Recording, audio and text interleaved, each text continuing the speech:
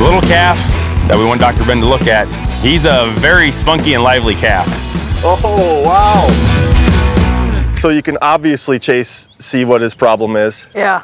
Looks like he's walking on his knees. Yeah, he can't straighten his front legs and he's got contracted tendons. And that is sometimes what happens when they're twins. There's two calves in a small little baby bag Yep. and they can't extend and, and freely get their feet up. So they're kind of sit in utero like this.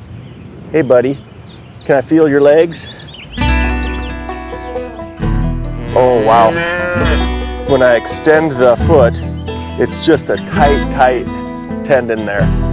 And look what else he's doing. He's starting to rub his knees. See this, Chase? Yeah. All he can do is ever walk on the front of his fetlock and the front of his carpus. Yeah, they have big sores on them. Mm-hmm. Is he in any pain right now? I mean, how would you like to walk around on your elbows all the time?